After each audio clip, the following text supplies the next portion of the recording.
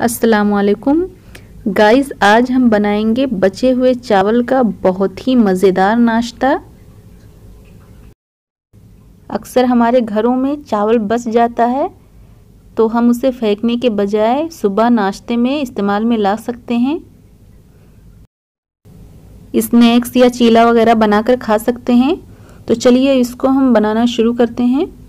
देखते हैं इसके लिए हमें किन किन चीज़ों की ज़रूरत होगी।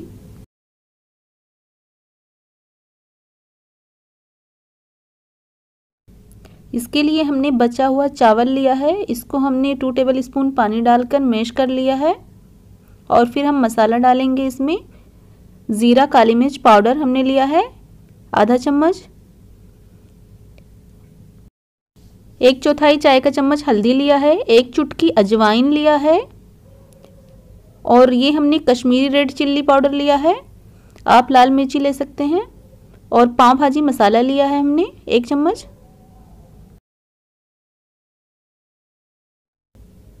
बारीक कटा हुआ प्याज, बारीक कटी हुई हरा धनिया,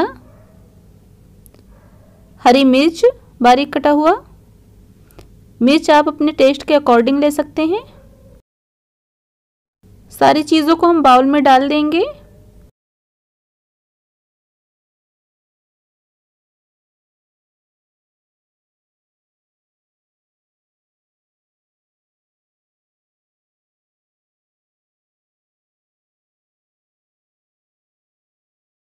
एक चुटकी चाट मसाला।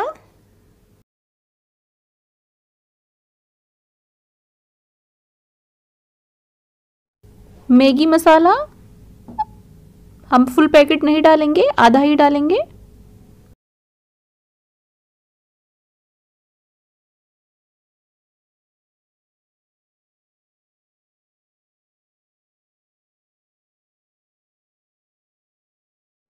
आलू ग्रेट किया हुआ, हमने ग्रेटर से ग्रेट कर लिया है इसे।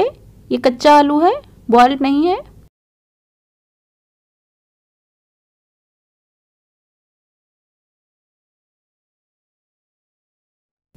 नमक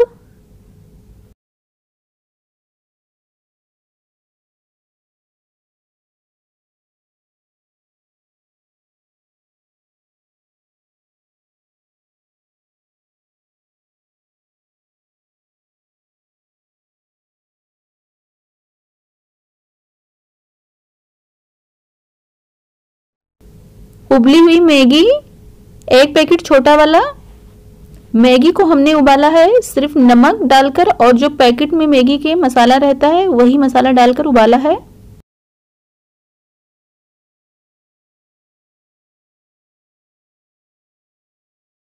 इन सारी चीज़ों को हम अच्छे से मिक्स करेंगे चावल में।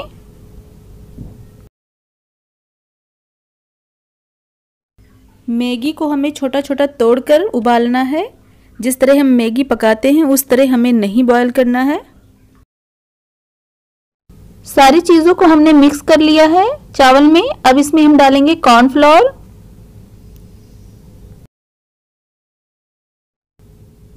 हमने फोर टेबल स्पून के करीब डाला है कॉर्नफ्लोर आपका चावल जितना हो, उसी हिसाब से डालिए।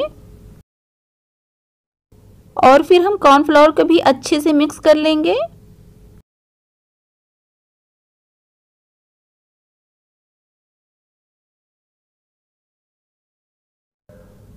सारी चीज़ों को हमने अच्छे से मिला लिया है। अब हम इसका टिक्की बनाएँगे। तो हमने ये टिक्की बनाना शुरू कर दिया है। हम छोटा छोटा बना रहे हैं। अगर बड़ा बनाना चाहें तो बड़ा भी आप बना सकते हैं।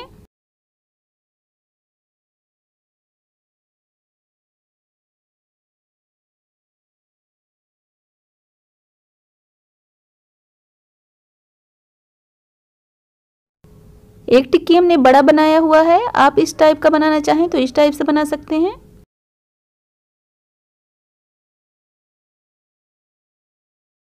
तो चलिए, टिक्की हमारी बन चुकी है सारी। अब हम चलते हैं गैस की तरफ़। इसको हमें फ्राई करना है। फ्राई करने के लिए हमने तेल को गरम कर लिया है। अब इसमें हम डालते जाएँगे एक एक टिक्की को।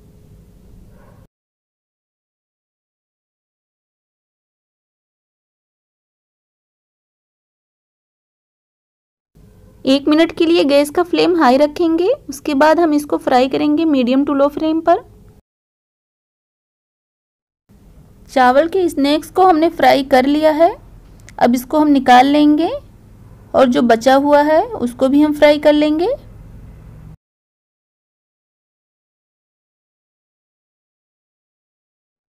रेसिपी अगर अच्छी लगी हो तो लाइक और सब्सक्राइब ज़रूर कर दीजिएगा और साथ में बेल आइकन को भी दबा दीजिएगा। ताकि हमारे आगे आने वाली वीडियोस के नोटिफिकेशन आप तक पहुँचते रहें।